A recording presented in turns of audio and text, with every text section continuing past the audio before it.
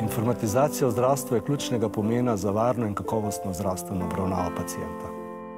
Rešitve e-zdravja bo tudi v Sloveniji v kratkem pričakoval vsak pacijent in se na njih zanese vsak zdravnik. Pediatrična klinika bo v kratkem brezpapirna bolnišnica. Telemedicina je boljše zdravje. Zdravje nadaljavo.